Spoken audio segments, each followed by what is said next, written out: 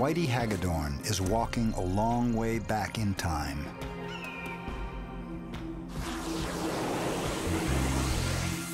In the rugged Inyo Mountains of California, he is seeking remnants of an ancient ocean containing clues to early life. His quest is not easy because the first animals didn't leave fossilized bones. They had no bones. But they did leave clues. Clear traces of their existence.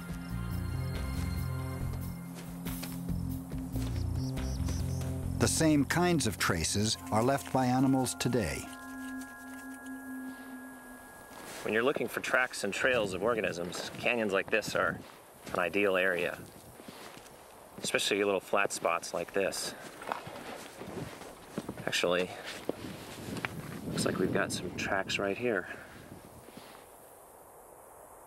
Judging from the closeness of the footprints to one another, suggests that it was probably walking rather than running. In a way, its tracks are recording its movement, its behavior, its size, writing its steps on the earth.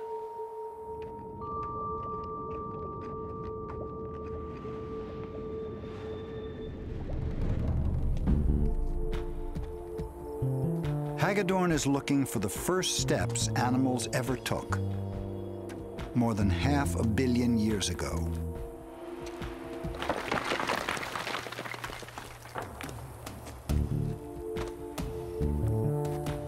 California's ever-changing geology has pushed the past up to the surface, peeling off the layers of time, revealing the early drama of animal life.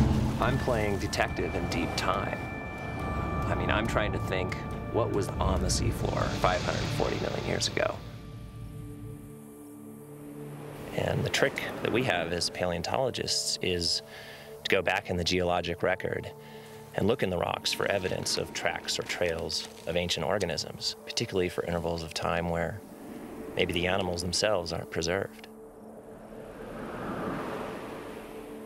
What were these organisms doing? How did they live? What did they eat? How big were they? How many were they? And what do those tell us about the development of early life on Earth?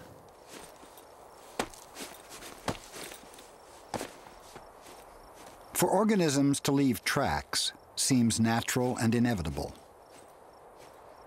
Until you consider that animals flourished for millions of years while fixed to the ocean floor.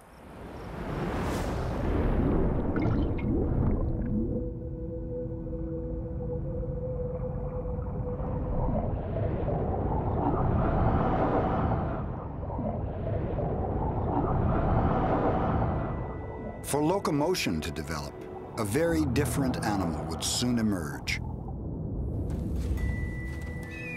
A creature with a brand new talent.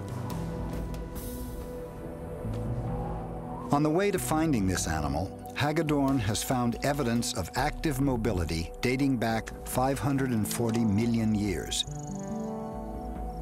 The evidence he has found is as plain as day, but it was only preserved by a lucky accident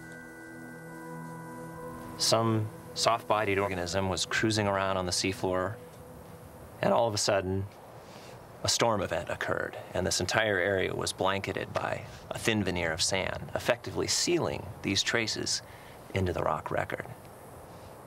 The sand entombed the ancient sea floor and preserved their trails. The tracks that etch this rock are like a written history. To find the very first hunter on Earth, Hagadorn will have to look even further back in time. I have a clue here, a clue there, and uh, I try to piece them together and create a story as to find out who's the culprit. It was a new kind of animal that left its mark on the Earth. Its trail is hardly bigger than a strand of hair, yet its importance is vast. Well, right at this time, about 565 million years ago, It was sort of revolution in animal body plans. Organisms for the first time be able to, became able to move under their own control in a directed fashion. And one of the ways we know that is by looking at trace fossils. By looking at that trail, we can almost certainly say that this animal had an ability to move sediment. Prior to this time, there weren't very many organisms that could do that. Once animals start looking for other organisms and things to eat and feeding on other organisms, the geologic records change forever.